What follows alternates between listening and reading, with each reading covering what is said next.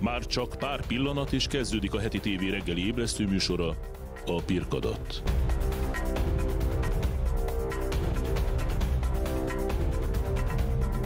Élőben a stúdióból jelentkezik Brajer Péter.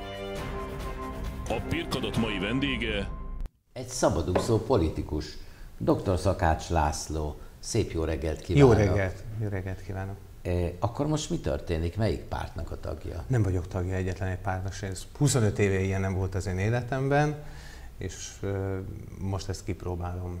Eddig nyilván most a közélettel természetesen foglalkozom, egy picikét hátrébb lépve figyelem az eseményeket, és persze, hogyha valaki kéri a tanácsomat, segítségemet, nyilvánvalóan van, akikhez személyes lojalitás is fűz, hiszen együtt dolgoztuk végig az elmúlt 20 pár évet, vagy éppen sok-sok kampányban dolgoztunk együtt, vagy akár a legutolsóban, akkor nyilván az ember ott van, eh, segít, teszi a dolgát, de igazság szerint A szocialista párt éppen pártelnököt keres. hát nem hiszem, hogy rám gondolnak, úgyhogy ez a karrier utamban azt hiszem, hogy eh, ezt a kanyart nem tesszük meg. Értem. Mivel tölti el napjait, újból ügyvédkedik? Nem ügyvédkedem, de a szakmában dolgozom, mellette nyilvánvalóan amilyen szintig ez elfogadható, olyan szintig ugye az ember, meg elfogadható is, meg ugye képes is vagyok rá. Persze mellette ugye a közéleti úgymond kötelezettségeknek, közéleti lehetőségeknek is ugye hagy helyet, meg időt az ember. Hát mégiscsak ezt csináljuk, ez az életünk, és szeretnénk, hogyha Magyarországon egy kicsit, nem kicsit, hanem sokkal jobb lenne a- az Mi a véleménye, mondja el nekem az árnyék kormányról? Mit lehet elérni egy árnyék kormánynak, illetve mi értelme, illetve jogilag milyen lehetőségei vannak? Jogilag azok a lehetőségei vannak, amik a parlamenti műfajok ebben. Én most nem állnék be abba a sorba, akik vagy már előre ugye azt mondják, hogy ez a megoldás, vagy már előre, Tehát ön kivárja, hu- hogy mit előre ö, huhognak arról, hogy hát ez, ez nyilvánvalóan egy korai és nem tudom micsoda ö, ügy ebben. Én azt gondolom, hogy azért ezt tényleg ki kell várni, ö, hogy mit hoz. Ilyen még nem volt Magyarországon. És azért, hogyha figyelembe vesszük, hogy mi történt az ellenzéki oldalon, ugye a választás után, utáni kettő-három hónapban, én azt gondolom, hogy ha, ha előrefelé indul valamilyen fajta törekvés, ahol nem magával foglalkozik az ellenzék, meg a saját pozícióval, pozícióival Mondjuk eh, azokkal kéne az foglalkozni, ellenzék, akik bankkölcsönöket vettek hanem a, föl. vá- hanem a választókkal, így van.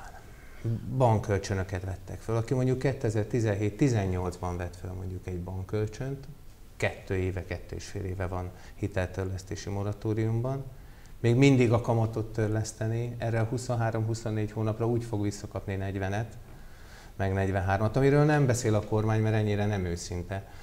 E, igen, őróluk kell beszélni. Azokról kellene beszélni, akik e, most számolnak. Azt a kérdést vártam el első mindig szokott lenni mi újság Baranyában. Ezt a Ez kérdést, lesz a következő kérdés. Gyorsan akkor elébe megyek. Az a helyzet Baranyában, hogy mindenki számol. Gigazsúlokat számol, meg kilóvattokat számol, meg eh, szigetelést számol, hogy melyikkel jön ki jobban. És hát az, az az igazság, hogy, hogy ha valakinek van gyermek, akkor azt számolja, hogy lesz 18 fok egy iskolában, és ott hogyan fog ülni egy gyerek eh, 6-8 órán keresztül.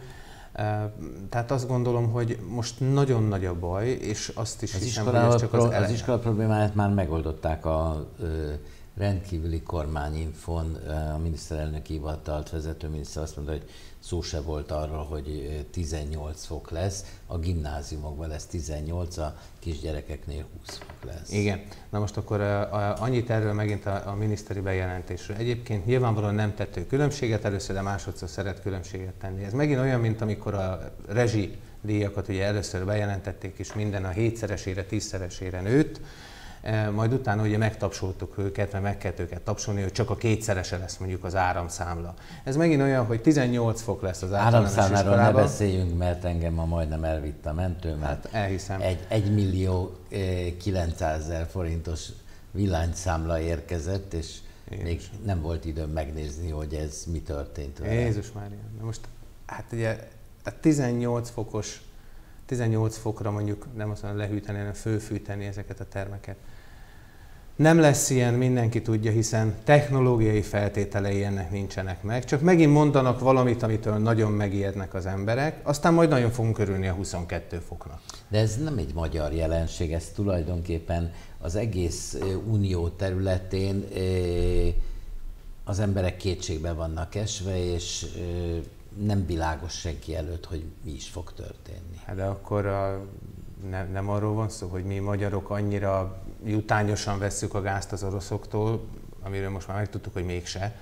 Nem, hogy De legalább Magyarországon, Ma, Magyarországon lesz gáz és lesz olcsó gáz. És, és hát nem, az nem arról szó, nem mondom, október, de, de az világos, október, hogy 180 napra elegendő van, és egy tél nem lehet 180 napos. Október 15-én mondta Szijjártó Péter, hogy a, a megkötött hosszú távú gázszerződés a garanciája annak, hogy a rezsicsökkentés marad. Aztán nem maradt. Azt is mondták annak idején, ugye, ami még nyomasztja az embereket, az az infláció. A pénztárnál is számolnak az emberek, nagyon-nagyon keményen számolnak egy vegyesboltban. Azt is mondták, hogy először az infláció az tavaly ősszel volt, akkor még arra fogták, hogy annyira növekszünk, amennyire Európa nem tud növekedni, és sokkal hamarabb nyitottunk, és a mi gazdaságunk a szárnyal előre, és nyilvánvalóan itt a kínálató oldalon hiátus van, mindent akarnak vásárolni az emberek, és ezt viszi, ez viszi fölfelé az inflációt. Azóta ez már háborús infláció. Hát akkor most tavaly októberben háborús infláció volt, amikor nem volt háború, vagy idén, vagy most is eh, kínálati infláció van. Tehát ezt el kellene tudni dönteni, beszélnek össze-vissza. Most ugye a hosszú fölvezető után mondom, mindenre találnak valamilyen uh, kommunikációs trükköt, ami általában abból áll, hogy jól megijesztjük a lakosságot, 18 fok lesz az iskolában. Mindenki tudja, hogy Gépészetileg ilyen nem lehet, és akkor majd megtapsolják, megtapsolják őket, mert csak 22-re eh, sikerült ugye fölfűteni, vagy éppen lehűteni ezeket az intézményeket. Tehát én azt gondolom, hogy ez most egy ilyen pánikos kormányzás, ahol hetente fognak változni ezek a föltételek. De ez Ember nem csak Magyarországra jellemző, mert ugyanaz a helyzet Németországban és az környéken. Németországban azért nincs ekkora infláció. Németország egy 36 milliárd eurós csomagot fogadott el és osztott ki egyébként a rászoruló lakosság között. A szociális alapon a nyugdíjasok kaptak pár száz eurót, a rászorulók, a nagycsaládosok, az alacsony jövedelműek kaptak Gondolom, pár hogy mi eurót. is majd ö, jobb helyzetben leszünk, hogyha az Európai Uniótól általunk vélt, nekünk járó pénzeket megkapjuk. Ja, hát ebben most hallottam idefelé a hírekben, hogy Varga Judit azt mondta, hogy jó úton haladunk, és folytatjuk a munkát. Hát én nem tudom, hogy a tegnapi bejelentésből, hogy a 65%-át ezeknek az Európai Uniós forrásoknak felfüggeszthetik 3000 milliárd forint. Elképzelhetetlen. Nálam most volt itt egy ellenzéki politikus, személyesen Szanyi Tibor, és azt mondta, hogy van remény rá, hogy megkapjuk a pénzeket. Hát, hogyha az Unió azt akarja, hogy Orbán ne menjen el kódolni keletre pénzért, akkor nyilvánvalóan valamennyit fognak adni, de hogyha tegnap azt mondja, a költségvetési biztos, hogy arra tesz javaslatot, hogy a Magyarországnak járó eh, pénzeknek a 65%-át függesszék fel 3000 Amennyi, milliárd. Amennyiben, amennyiben prezentáljuk, hogy. Igen, amennyiben, hogyha. De hát eh, a kormány is ebből hogyan, jött ki az a, ebből hogyan jött ki az a magyar igazságügyi miniszternek, hogy jó úton haladunk? Hát ezeket a pénzeket tavaly meg kellett volna, hogy kapjuk, most meg a 65% még mindig az ablakban van.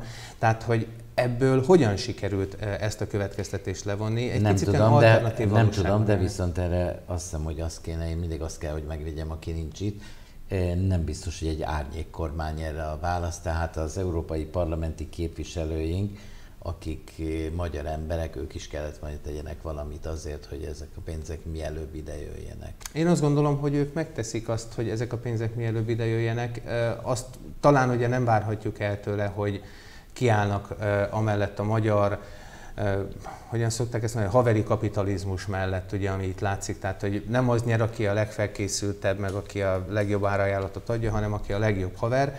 Tehát, hogy, hogy emellett ugye, hogy ők kiálljanak, főleg Brüsszelben, Orbán Viktor és csapata mellett, meg a NER rendszere mellett, ezt talán senki nem várja el. Az, hogy a jogállamiság mellett ők kiállnak, az országért álljanak hogy az ki, országért álljanak ki, az természetesen, én azt gondolom, hogy ezt ők meg is teszik, csak az országnak az érdeke nem az, hogy Mészáros Lőrinc még többet keressen, hanem az országnak az az érdeke, hogy gazdag magyarok legyenek, hogy jólétben élő magyarok legyenek, ne egy-kettő, hanem sok. Bízunk benne, hogy ez így lesz. Mondja nekem valami pozitívat, hogy telnek a napjai. Hát köszönöm szépen, munkával telnek a napjaim. Gyerekei többet látják, mint amikor aktív politikus volt? Valamivel többet látnak, telefonnal a fülemen természetesen valamivel többet látnak, de én is azt gondolom, hogy minket ugyanúgy érint. A lelke hogy éri meg, hogy nincsen benne a mindennapi állandó pörgésben? Most ezt úgy élem meg, hogy annyit vagyok benne, amennyit szeretnék a mindennapi állandó pörgésben, és ez alapvetően ez egy, ez egy jó érzés, illetve az, hogy az ember azért sokkal nyíltabban, megnyugodtabban tud ezekről gondolkozni. Ez, Na de hát az utolsó hónapjaiban, mielőtt nem hagyta ott a szocialista pártot, akkor is a saját kocsiával közlekedett, és akkor is mindent a saját erőforrásából fedezett. Ez így van, ez azóta sem változott. Annak idején azt hiszem, hogy kaptam egy ilyen jelzőt, hogy megteremtettem a társadalmi megbízatású elnök helyettesnek a pozícióját. Ez nagyjából egészében megtanított engem arra, hogy hogyan kell élni itt úgymond a világok között. Ebben segített nekem annak idején a szocialista párt. Hány évig Marad... volt a szocialista párt katonája? 23 évig voltam tagja. Tagja, és valaki megköszönte? Azok közül, akik kidobtak, nyilván senki. Én akkor, amikor kidobtak a Magyar Szocialista Pártból, én soha életemben annyi Tehát nem tett semmi rosszat? Soha, hát igen, megítél, ők úgy ítélték meg, hogy, hogy rosszat tettem és én soha annyi bátorító telefont nem kaptam. Én azt tudom mondani, hogy, hogy én két napig annyira, annyit tudtam mozogni, olyan messzire tudtam elmenni, amilyen hosszú a telefonomnak a töltője volt. Én annyi bátorítást, annyi szolidaritást életemben nem kaptam, mint azokban a napokban. É, Ez egy jó érzés volt. Igen, de hát a választásokon mégsem került be a parlamentbe, sem helyhatóságban, sem a parlamentbe tehát ezek ilyen támogató telefonok voltak, de támogató voksok nem érkeztek. Hát most azt kell mondjam, hogy kb. 43 ezeren mentek el szavazni a közvetemben, szűk ezer szavazattal kaptam ki. Mindenki más is sajnos, tehát ugye a körzeteknek a nagy részében. Az volt ugye a kivétel, aki meg tudta nyerni a körzetét. Ezt a politikai helyzetet egy picit nehezebb földolgozni, mint a saját személyes életemet. Ez annak volt köszönhető, hogy nem voltak az ellenzéki pártok kellőképpen fölkészülve, vagy minek? Én azt gondolom, hogy az utolsó hetekben nem sikerült talán jó választ adni a háborúra. Tehát ez a picikét romantikus, ám bár fatalista válasz, ez nyilvánvalóan nem tetszett a magyaroknak. A magyarok békét akarnak, és én is mindig azt mondtam, hogy béke kell a békét, a béke megteremtésében kell segítkezni, e, és e, hát hogyha mondjuk a magyar miniszterelnök elmegy Moszkvába pár héttel a háború előtt, és ő azt mondja, hogy békemisszión volt, majd két-három hét múlva kitör a háború, akkor hát azt kell mondani, hogy hát akkor még egyszer Próbálta elősegíteni, hogy el. mégse legyen háború, de nem sikerült. Hát akkor kezdje újra. Tehát vagy hazajövünk győzelmi jelentéssel, vagy sikerült. Ugye ez a kettő lehetőség van.